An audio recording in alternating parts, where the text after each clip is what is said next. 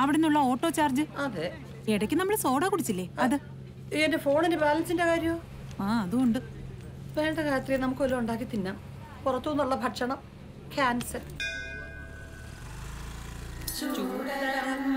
മോളെ ഗായത്രി. ഒരു മിനിറ്റ്.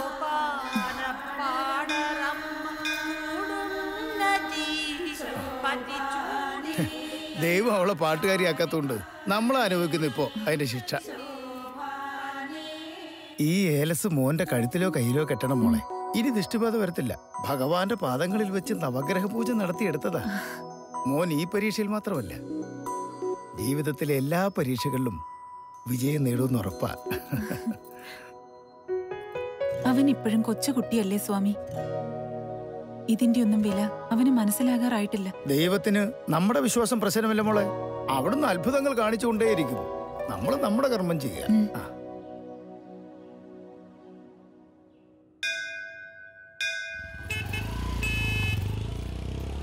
ഇതെങ്ങനെയുണ്ട് ഇതെനിക്ക് അത്രയ്ക്ക് അങ്ങോട്ട് ഇഷ്ടപ്പെട്ടില്ല. ഔട്ട് ഓഫ് ഫാഷനാ വേറെ നോക്കാം. എന്നാ? ബാഗ് ആർക്കാ ഗായത്രി? ഞാൻ പറയാം. ഹലോ ഈ ബാഗ് ഒന്ന് എടുത്ത്. ലേറ്റസ്റ്റ് ഫാഷനാ മാഡം എത്രയതിന് മുന്നൂറ്റമ്പത് രൂപ. ലെതറാണോ ഇത്? ഏ നല്ല ഒന്നാം തരം റെക്സിനാ എന്തൊരു കത്തിയായി പറയുന്ന ചെറുക്കൻ. ഇത് നമ്മുടെ മറ്റേ സ്റ്റോർ ആണെങ്കിലും ഇതിന് മതി ഇതിന് മതി. എടുത്തോ പൈസ കുറവാ മാഡം ഇത് ബില്ല് ചെയ്തോ? ശരി madam thank you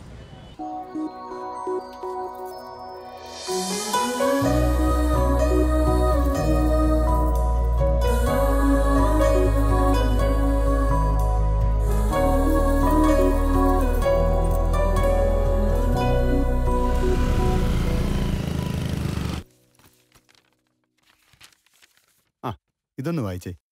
This is to confirm that doctor K Radhakrishnan chairman Indian institute of sir ISRO Radhakrishnan sir yes Radhakrishnan sir നമ്മുടെ കോളേജിൽ വരുന്നു യെസ് യെസ് യെസ് അദ്ദേഹമായി ഒരു ഫൈവ് മിനിറ്റ്സ് ഇന്ററാക്ഷൻ കിട്ടുമോ sir I know you are a big fan of him ഞാൻ പ്രിൻസിപ്പളിനോട് പറയാം.